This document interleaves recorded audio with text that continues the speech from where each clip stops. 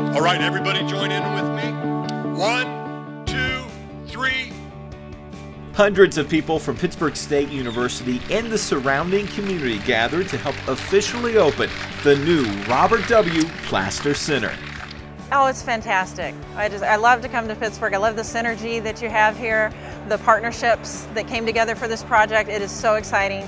I'm excited for what this building means for the students of Pittsburg State and the Pittsburg community. You know, we've had a lot of great days on the campus over the last few years, and we really have, and this is, this is another one of those. And uh, I'm a huge fan of the arts, so to the Bicknell Family Center for the Arts, when that came online, I was just, just full of excitement and energy over it. I'm also a huge fan of athletics.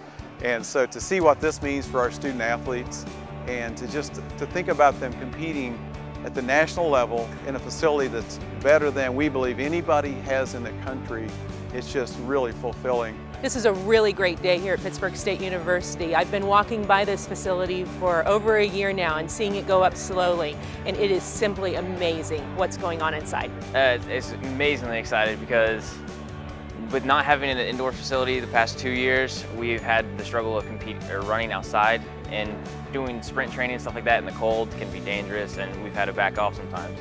So we're also really proud that we're, it's open and that we've still had success with no indoor. So now with indoor we have amazing expectations for ourselves. It's beautiful. It's beautiful. It's even bigger than I remembered. And uh, I, I, think it will be wonderful and I can't wait to see everything that, uh, that goes on here. It's, you know, it's not very articulate, but it's, it's wow. It, there's an amazing wow factor because you walk in the lobby here and then you stand at the railing and you look at, at, the, at the track and how it all lays out in the video board and it's just something. I really like the way that the whole building is really designed around students and their needs and really designed to make the most of every square inch. Man, I wish I had an extra year of eligibility so I could compete. That's what I was thinking. I need to come here unattached and set some records or something.